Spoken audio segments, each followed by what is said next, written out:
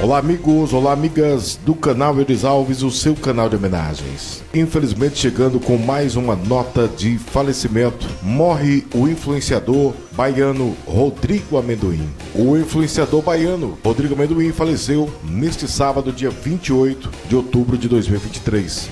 A confirmação do falecimento foi dada por amigos próximos nas redes sociais. Mais cedo, o influenciador Christian Bell gravou uma sequência de histórias afirmando que o amigo tinha atentado contra ele mesmo e colocou: Ele está muito mal, não sei se ele está vivo, disse Christian.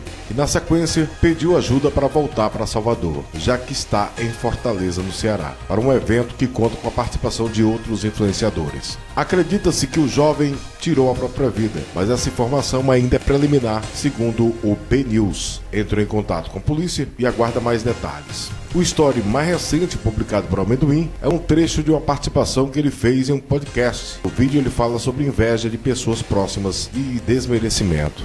Então, noticiamos o falecimento do jovem influenciador de mais de um milhão de seguidores nas redes sociais, Rodrigo Amendoim. Agradecendo o nosso parceiro Henrique Silva, é que nos ligou, sempre parceiro da gente, é o nosso correspondente lá em Salvador, na Bahia. Então, nossos votos de pesar a todos os familiares, amigos e seguidores do influenciador Rodrigo Amendoim. Esse é o canal Euros Alves, o seu canal de homenagens.